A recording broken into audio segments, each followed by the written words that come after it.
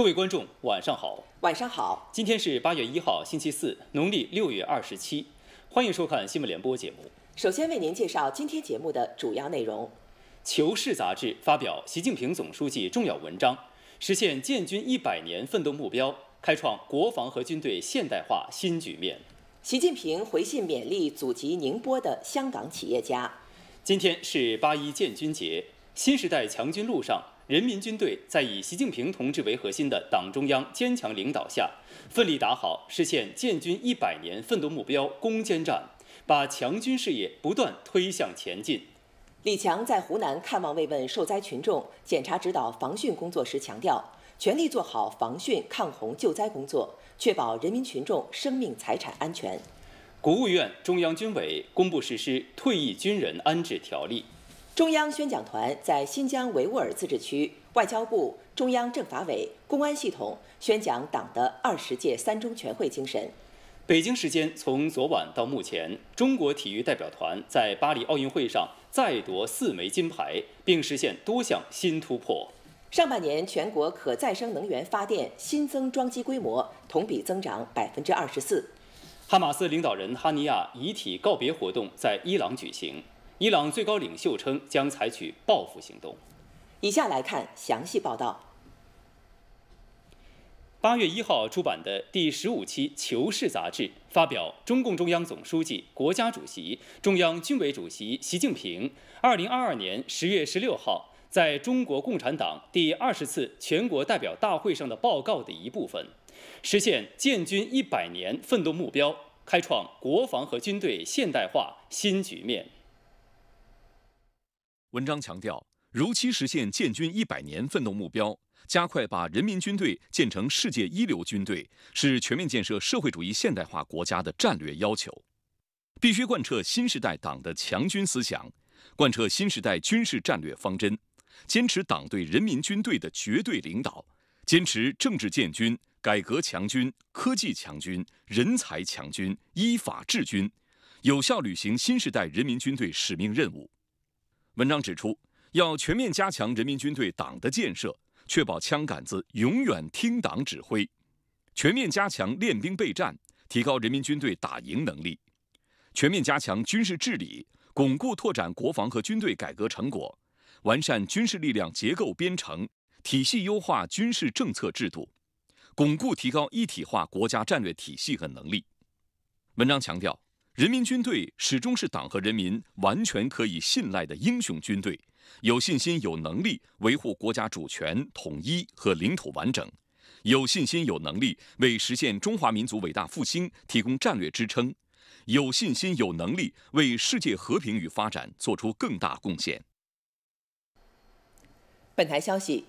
近日，国家主席习近平给包培庆、曹其庸等祖籍宁波的香港企业家回信，对他们予以亲切勉励。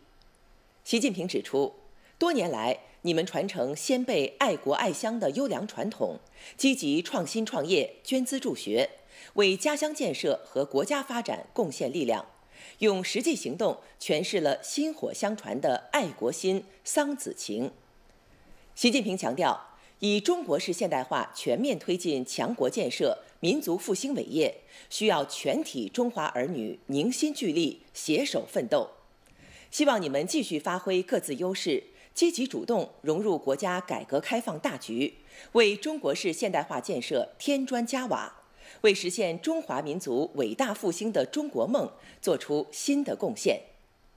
近代以来，一大批宁波人走出宁波，重工兴商。逐渐形成了心系祖国、步履四海的商人群体，涌现出包玉刚、邵逸夫等爱国爱乡知名人士，为祖国和家乡的建设做出积极贡献，被称为“宁波帮”。一九八四年，邓小平同志指示，把全世界的宁波帮都动员起来建设宁波。习近平在浙江工作期间，曾多次对宁波帮人士表示关心，并寄予殷切期望。近日，包培庆、曹其庸等香港宁波帮后代给习主席写信，汇报他们传承先辈优良传统、积极服务国家发展等情况，表达继续为祖国现代化建设贡献力量的决心。今天是八一建军节，英雄的人民军队在党的坚强领导下，走过了九十七年光辉历程，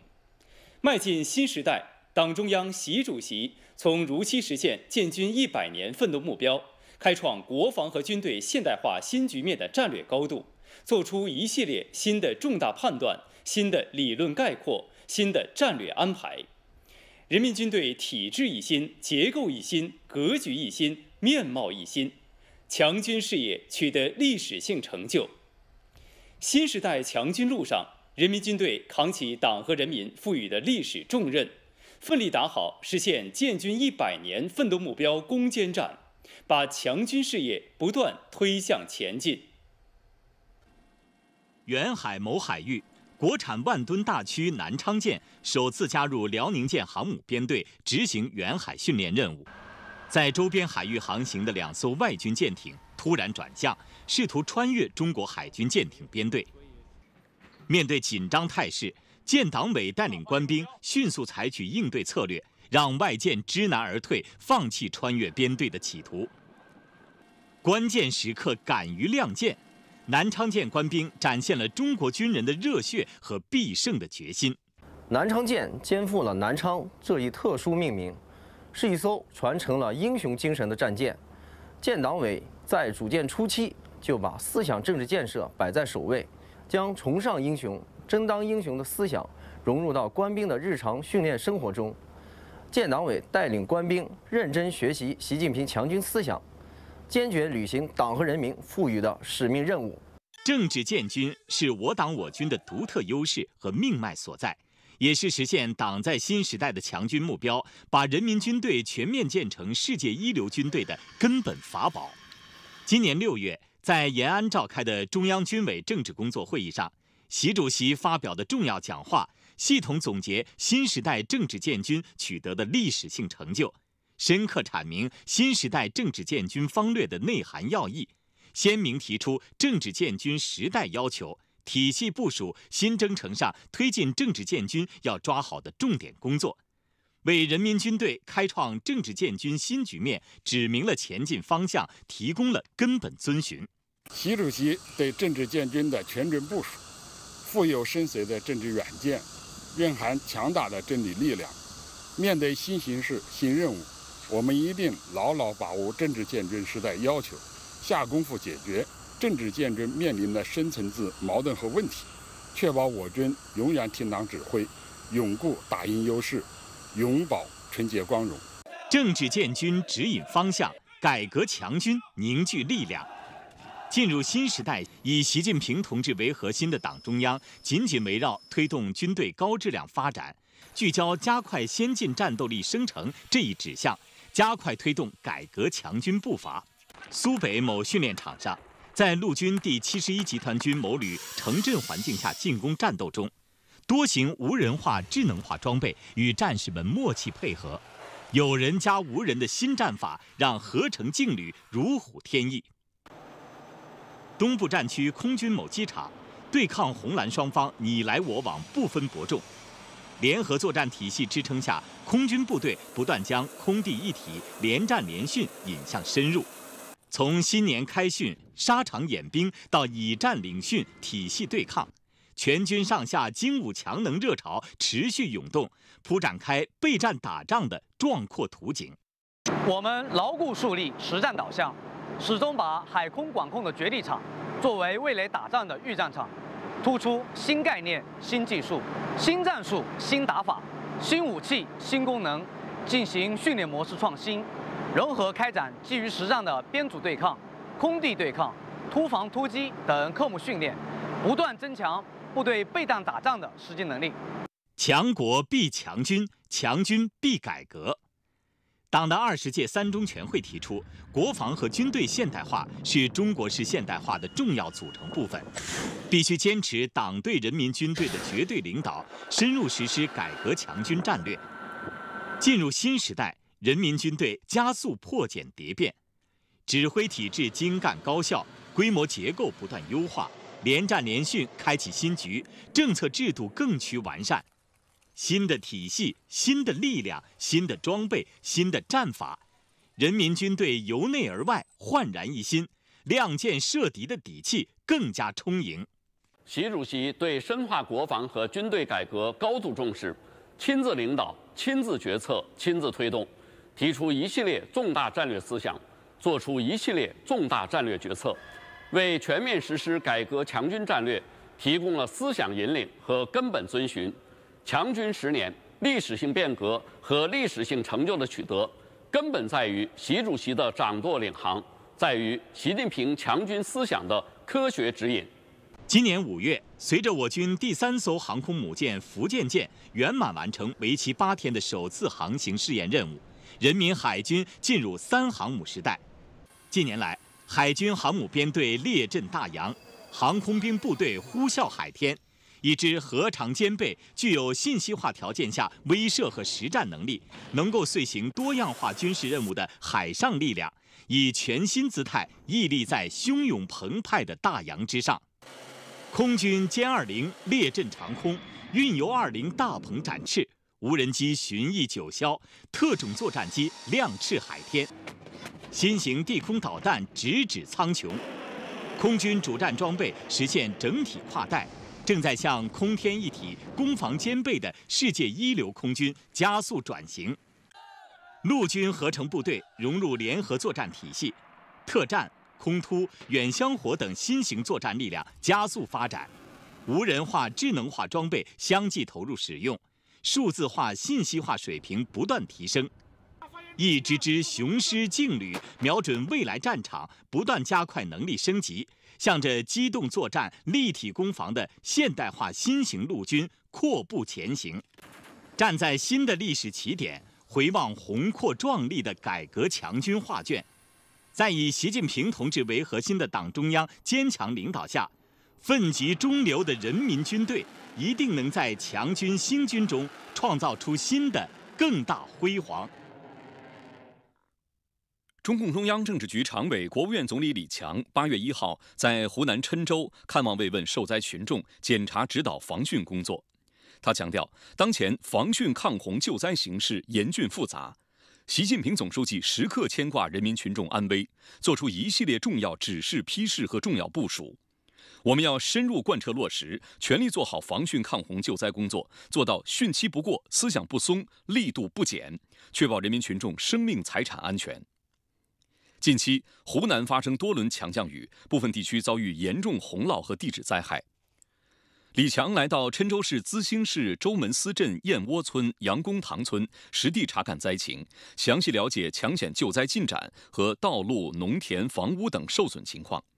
李强强调，当前要全力以赴搜救失联人员，做到搜救全覆盖。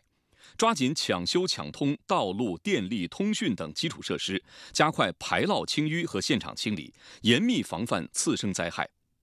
李强向坚守一线的抢险救援人员表示慰问和感谢，希望他们发扬连续作战精神，继续做好应急抢险处置。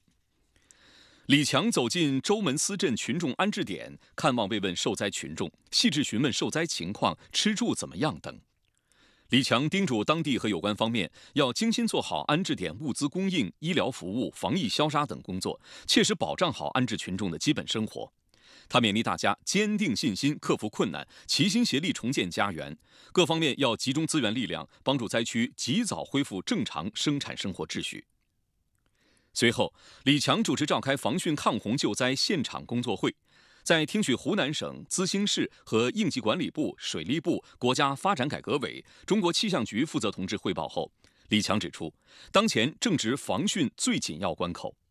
防洪峰、防决堤、排内涝压力不减，要毫不放松做好防汛抗洪救灾工作，从防、减、救全链条协同发力，最大限度降低灾害风险，减少灾害损失。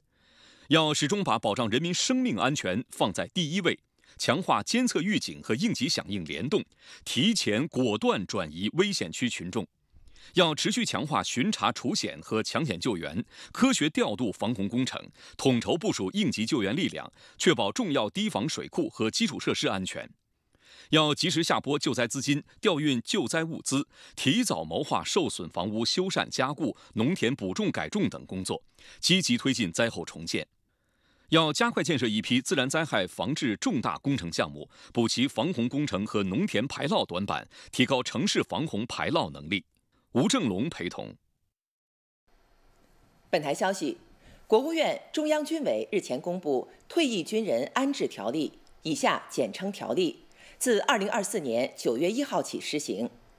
条例旨在规范退役军人安置工作，妥善安置退役军人，维护退役军人合法权益。让军人成为全社会尊崇的职业。条例共十一章九十三条，主要规定了以下内容：一是坚持党的领导，完善安置工作机制，强调退役军人安置工作坚持中国共产党的领导，明确军地各有关单位的职责分工；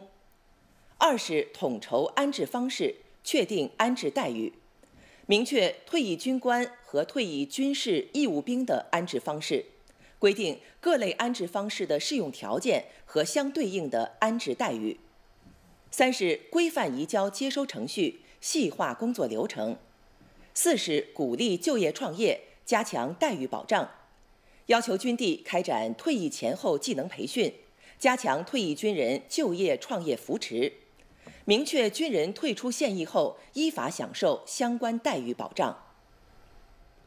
学习贯彻党的二十届三中全会精神，中央宣讲团成员在各地各部门深入宣讲，并与基层干部群众互动交流。中央宣讲团成员、中共中央政治局委员、新疆维吾尔自治区党委书记马兴瑞近日在新疆做宣讲报告。马兴瑞从深刻认识全会重大意义，深入学习贯彻以习近平同志为核心的党中央关于进一步全面深化改革重大决策部署等方面，对全会精神做了系统宣讲和阐释。这次全会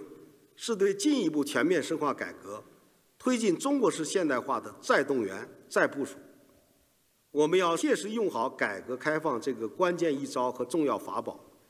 聚焦解决事关长治久安的根本性。基础性、长远性问题，大胆探索、开拓创新，坚决破除体制机制障碍，通过进一步全面深化改革，推动新疆工作再上新台阶。近日，马兴瑞还来到基层社区、产业园区等地，与各族干部群众面对面交流，深入宣讲全会精神。中央宣讲团成员、中共中央政治局委员、中央外办主任王毅七月三十一号在外交部做宣讲报告。王毅围绕深刻领悟党的二十届三中全会的重大意义，深入学习领会习近平总书记重要讲话精神，全面准确理解决定提出的进一步全面深化改革重大举措，全面认识把握全会对对外工作的战略部署和改革要求等方面，进行系统阐释和深入解读。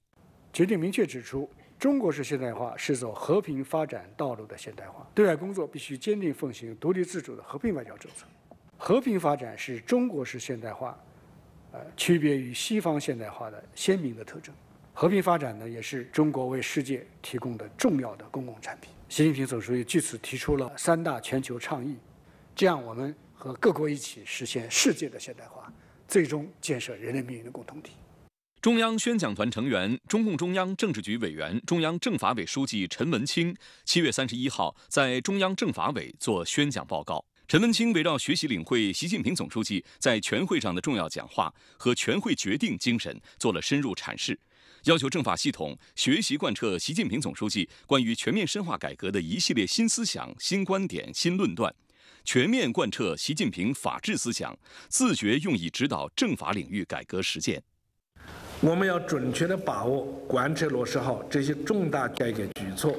要坚持依法治国、依法治政、依法行政，共同推进；要坚持法治国家、法治政府、法治社会一体建设，通过立法来解决我们出现的新问题，通过严格执法、公正司法来解决各种突出问题。做到依照三令律职，依照法治办事，依照岗位责任落实。中央宣讲团成员、中共中央书记处书记、公安部部长王晓红七月三十一号在公安系统做宣讲报告。王晓红强调，要深入学习贯彻党的二十届三中全会精神，深刻领悟“两个确立”的决定性意义，增强“四个意识”，坚定“四个自信”，做到“两个维护”，切实把思想和行动统一到党中央决策部署上来，进一步全面深化公安改革，以钉钉子精神抓好各项改革任务的落实，奋力推动公安工作高质量发展。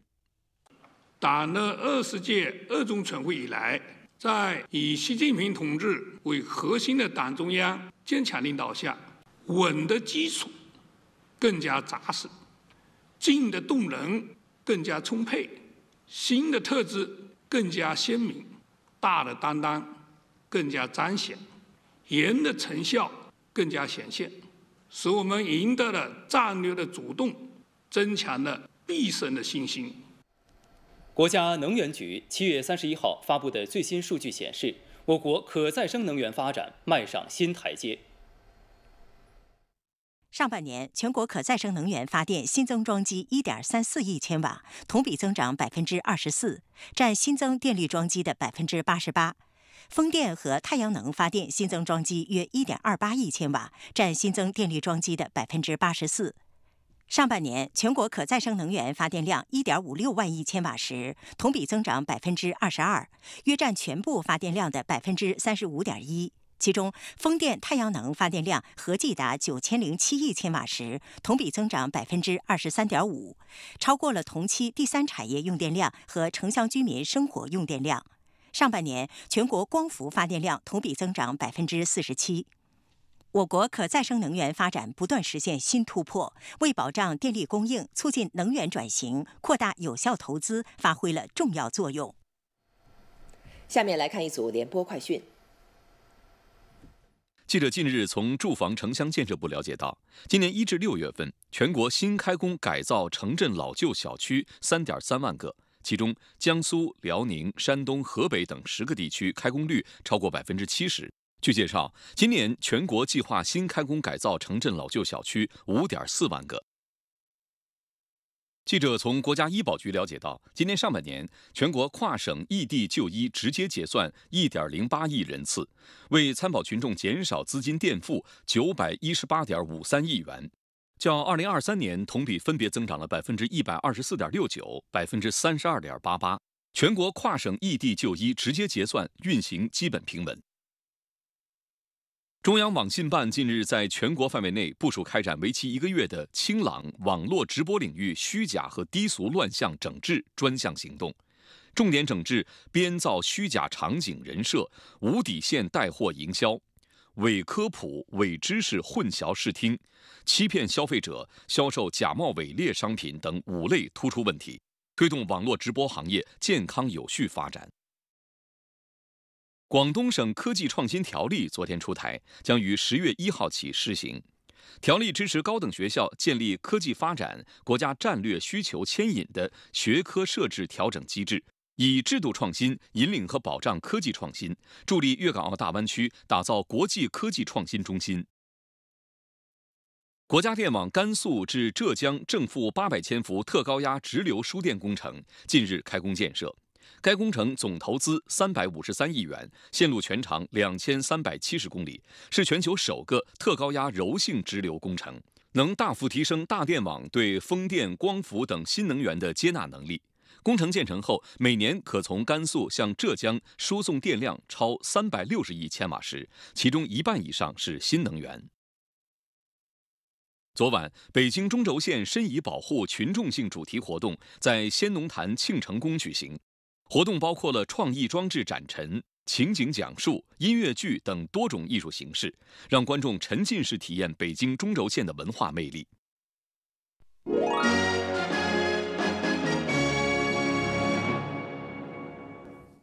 近日，中共代表团访问波兰、黑山和保加利亚，会见当地多个政党的领导人，并举办多场交流会议，宣介中共二十届三中全会精神，探讨中国式现代化及其为双边关系发展带来新机遇等话题。各方表示愿与中国深化党际交往和各领域合作，期待中国进一步全面深化改革，为世界创造新发展机遇。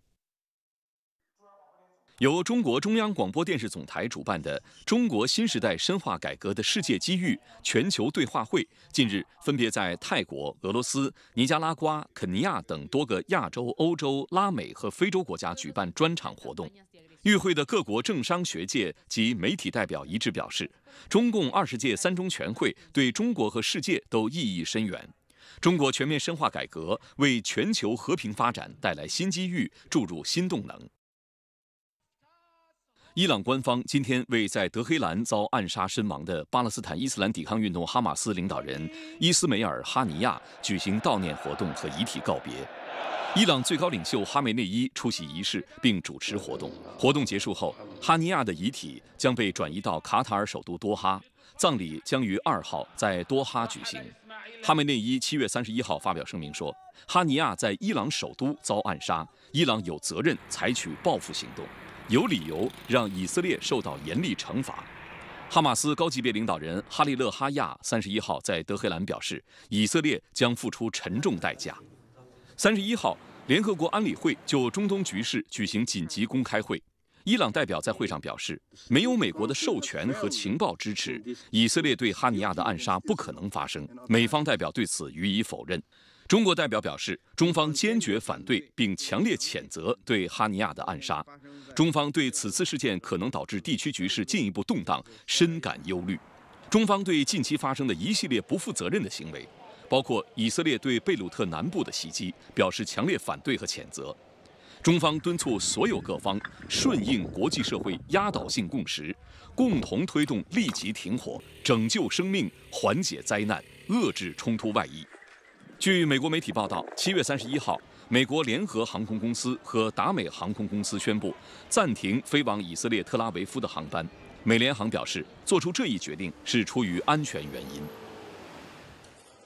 苏丹武装部队七月三十一号发表声明说，苏丹主权委员会主席兼武装部队总司令布尔汉当天在苏丹东部红海州出席军事学院毕业典礼时遭无人机袭击，袭击造成五人死亡，多人轻伤。波尔汉本人未受伤。苏丹武装部队方面指责苏丹快速支援部队发动了袭击，快速支援部队对此表示否认。今天的新闻联播播送完了，感谢收看，再见。再见。